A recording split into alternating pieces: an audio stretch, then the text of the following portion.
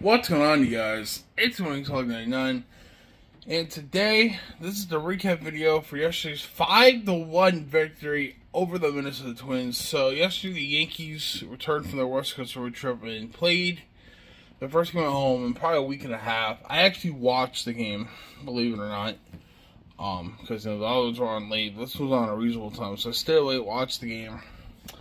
Um, Andy Volpe, um, excited to shake the third yesterday Aaron Judge.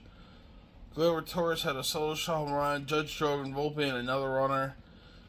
And then Giancarlo Stanton sealed the deal with a two-run homer of his own, which made 5-1 Yankees. And the Yankees hang on to win 5-1 over the Twins. I believe next game is tonight. Let's see if we can continue to take towards taking the series or take the series tonight. One of the two. So, Anyway, thank you guys so much for watching, and I will talk to you guys again soon. Bye for now.